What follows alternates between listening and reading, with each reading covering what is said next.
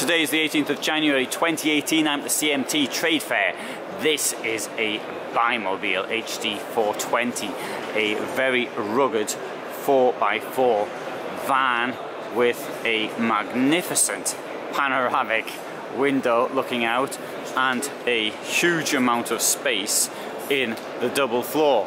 Well, there's the double floor. I'm only pointing these out first because it's sort of on the way into the van, but look at all the stuff you can get in there and look at that great view from up there. Now this van costs about 156,000 euros, so it's not exactly cheap, and that depends on what options you take and what you have, have, inside. Anyway, so if we go up here, I've been allowed to go in without the staff, so no problem there. Now this is a bit odd though, the, the beds in like this, as though they are for children. Now, it is a uh, top terrain vehicle, so that seems somewhat unusual in here.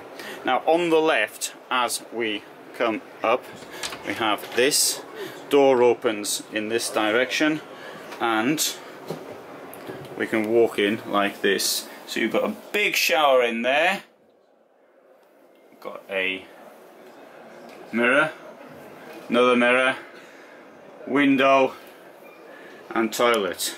So the wet room is pretty large. Turning around, let's come down here into the living area.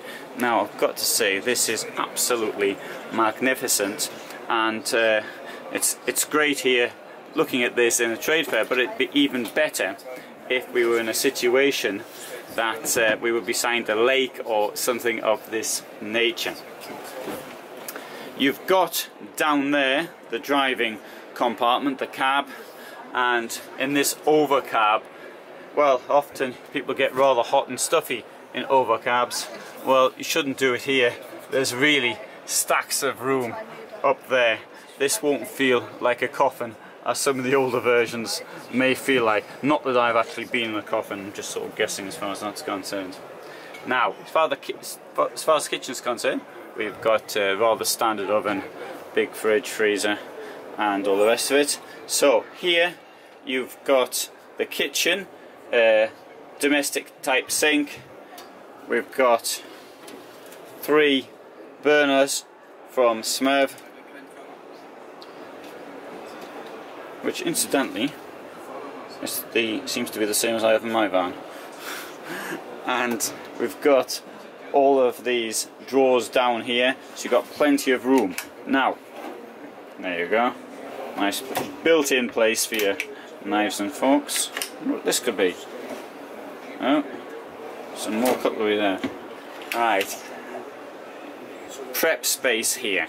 Though I wouldn't prep here, because Okay, unless we had an outstanding view out there, it wouldn't be necessary. I'd prep there and look out of the window. Now, uh, here we have huge amount of hanging space. Some was going about. And there you've got your electric fuse box and charger see what's going on from the electrics up there. And we've also got a bit more storage here next to the kitchen. Now something like this doesn't come cheap but it's not really designed for running around on the European motorway system. It's something which is designed for use off-road, Siberia Alaska, Iceland, some places in Africa, this sort of thing.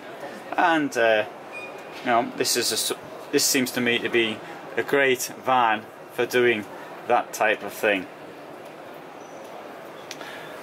It seems as though the table comes in and out, and also the table will go down to make extra uh, space for a bed, should that be necessary. Got two belts there as well on that position, so it's four belted places. And I suppose you could get two people sleeping here, two there. And got two spaces in the back as well, so that's six. So there's uh, no shortage of uh, uh, sleeping uh, um, quarters. Right, let's have a look at here, a quick look at some of the technical details. I don't know if you can see them or not. In fact, I'll just read them. You, you, can admire the view out of the van. So it's 675 centimeters long. Width is 238 only. So this is only three centimeters actually longer than my van. And the height is 322. So that's thanks to this big height that we've got managed to get so much in here. Now the, it's on a five ton basis and in running order we're looking at uh, under 4 tons. So that's with uh, full tank of fuel full tank of water. So it gives a payload of 1 ton. So uh, there's plenty of uh, stuff you can carry with you as well as some particularly fat friends if you've got any. Right any fat ones? I'm not suggesting you mightn't have any non-fat ones. Right what do you think? Pretty smart eh Ah, maybe could do with a bit more skylight. Well, yeah, I mean we've got this fan up there, but it would be nice to have a bit more on that front. But then again, you've got this huge window, as I mentioned several times. Okay, great van, I think. What do you think? Do you like it?